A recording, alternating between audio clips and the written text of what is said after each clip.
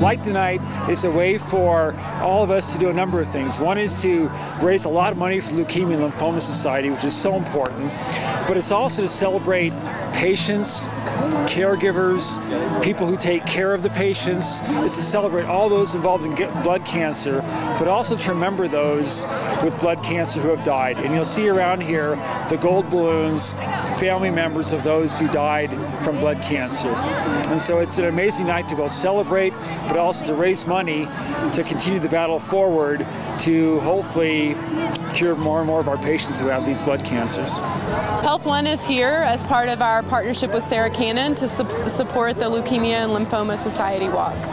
This event really is an example of our mission and our dedication to our community and to continuing to meet the medical needs of our society.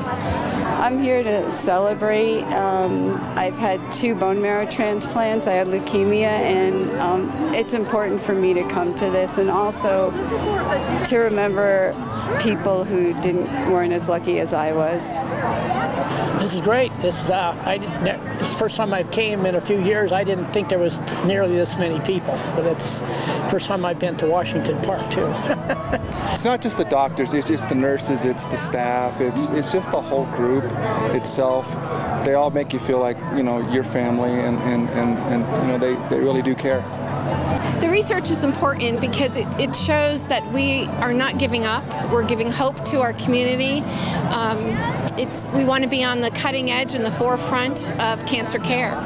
And that's the goal, is to keep raising money and keep the research going and hopefully we won't ever have to come back here again in a few years. As I've told some of my friends, it's because of past research that I'm here.